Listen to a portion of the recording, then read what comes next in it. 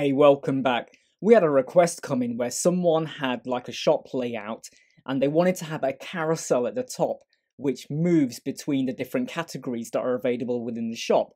So this video is about how do we do that. And that's what we're going to do right now.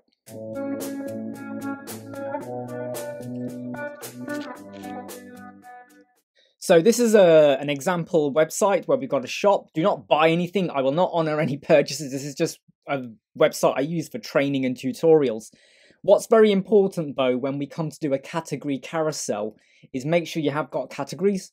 If you do it without having categories assigned to your products, it ain't going to work. So make sure you've got that.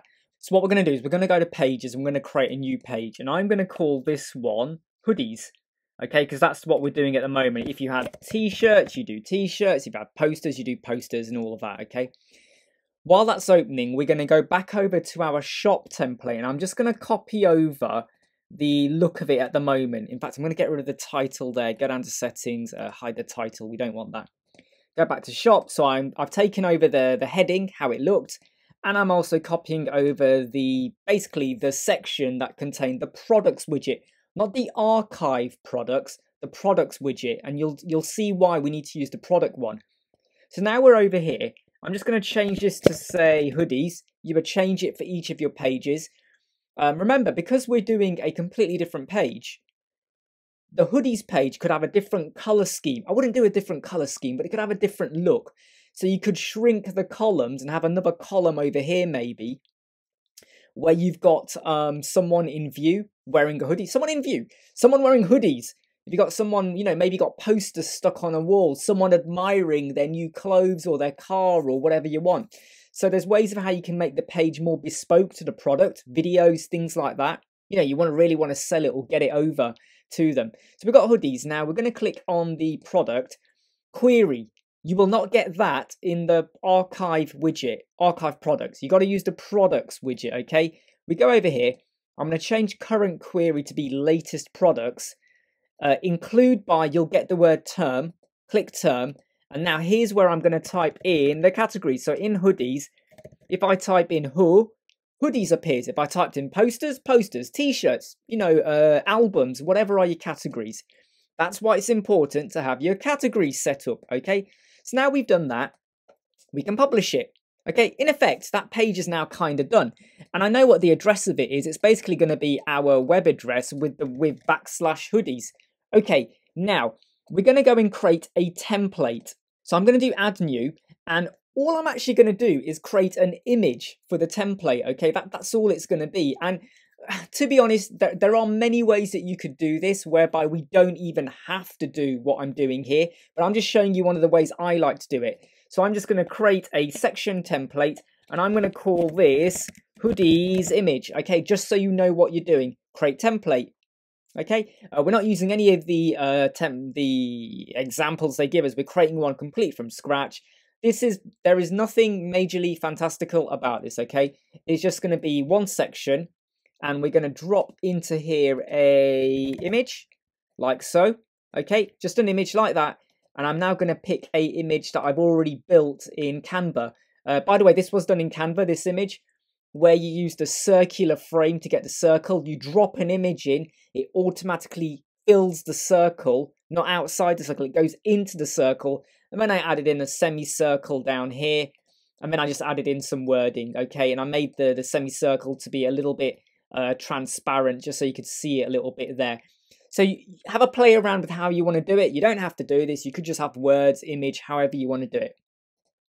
So I've got this image and I'm now just going to insert that, that image there. Now that image is going to link. I'm just going to make it a full. In fact, I'm going to make it full and I'm just going to make this be about 200 pixels. I think 200 will be fine, in fact. Yeah, 200 pixels. Okay, you play around with it and go with what you want. The key bit is though the link. So this image is going to link to something. So I'm going to go to custom URL. And I could, if I want, either paste it or just type hoodies and it's going to go to the hoodies page. Remember that page has already got our shop, but it's been categorized down to, not categorized down, but it's got the hoodies. Yeah, it has. It's got the hoodies query. What am I saying? uh, you will probably notice there's going to be a bit of a problem here, and I'll come back to that problem in a moment. Okay, I'll, let me just let's just do this bit. You then publish that. That template is now ready for you to use in your shop page or anywhere else you want. Because at the moment, this when you click it, it will take you to the hoodies page. Right. So what we're going to do is we're going to come back out of this. So we're back in our template section. Okay, let's just refresh that. Uh, and there we go, hoodies image. I'm now going to take that shortcode over there. Okay, so just take the shortcode. That's all you got to do. We're now going to go back to our shop template. We're going to hit a plus sign and I'm now going to create a section. I'm not spending time on the margins or paddings here, okay? You will fine tune it to suit uh, what you want it to look like. I'm going to now type in carousel and we're going for the testimonial carousel. A lot of people go for slides, image, media. The testimonial carousel works so much better for you because you can do so much more with it. We're going to drop that in. And I'm now going to get rid of the items we have in there. Only have item one. Now, normally when you do a testimonial carousel, you just dump the short code into here and away you go. But when it comes to the shop page, because it's a product archives template, if you do that, you're just going to see this code even when you go live. So keep hold of your code but instead of like pasting it in there, just make sure there's nothing in here. And when you click out and click on content, you'll see the dynamic tags appear. Click on dynamic tags and scroll down until you see the word shortcode. Click shortcode, then click the spanner or the wrench, and now drop it. It's a bit weird because if you were to do this on a page, it would work totally fine. You'd have no issues whatsoever. But in the shop page, you've got to do it this way, which it confused me at first. But anyway, look, you do that and you hit update. I'm now going to make a copy of this like multi whoops, multiple times like that. Because, you know, um, if you had loads loads of um, products or categories, hoodies, t-shirts, posters, you know, loads and loads of stuff, whatever you've got, okay? What you do is you create a page for t-shirts and you, you put your products in in your category you know, when you do the query, so it's now only got posters, you then create a template over here for posters image. The short code for that you would then stick into, uh, where are we? Where are we? Wrong page. Here we go. Shop. You would then stick into here. So let's say item two was now going to be the posters. You would do short code, yeah? And then you click the spanner wrench and you drop it into there. Okay, should be okay there. Uh, we'll very quickly just do some stuff. So slides per view, we'll leave it as four. What about five? Five's too small. Let's go with four. Uh, it'll, it'll scroll at one slide. Um, and the additional options is uh, I'm not going to have dots. I'm just going to leave it to be the arrows. And I've stylized it to be purple arrows there. That's where you go to style, go down to navigation, and you would do that there. Okay, cool. So now if we update that, update, update, update, update, if we now preview this, can you see what we have here? And I'm just going to move myself down a little bit out the way here. Okay, we now have a carousel. It's not kind of moving at the moment, is it? I don't know why. I think that's because I was hovering over it. In fact, no, I know why it's not moving. I'm just going to log out so that you'll... No, let's look at it in... No, there you go. Look, it's moving now. It's because I was hovering over it. Sometimes you've got to go to private window for it to work properly. Um, let me just move myself here. Okay, there you go. So you can have hoodies, t-shirts, posters, whatever you want, and it will move. Obviously, in slides, you can set it to be quicker, slower, however you want. And if I now click on hoodies, okay, this will take me to the hoodies page. Hoodies. Now, here's the bit I mentioned where you've got to have to think a little bit.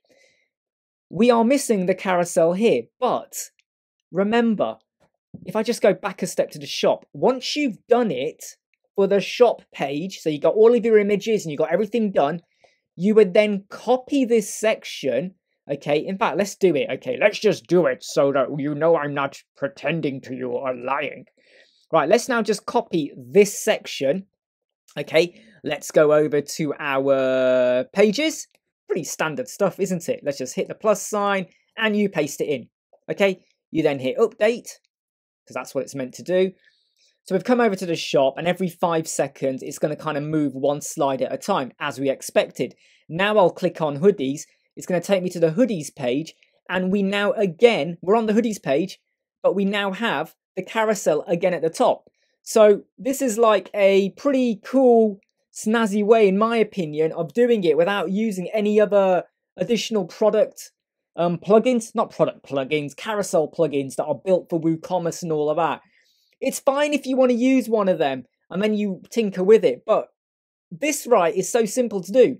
If you got 20 categories, you'll have 20 pages. Um, you'll create 20 images and then you stick the short code in. The great thing, obviously, is that now that you have a hoodies page, you could have like a link down here underneath the shop. So it might be like hoodies. This one won't work because that page is pointing to another test page, but you click it and it would bring you to the hoodies page. So, you know, play around, have a, you know, there, there are many ways you can do this, but this is the way I do it because it's, I feel it's very simple and easy to do. I've gone for circles. You could go for whatever style you want to do. Look, I hope you like, subscribe, share, and follow. And I hope this helps you out. You take care.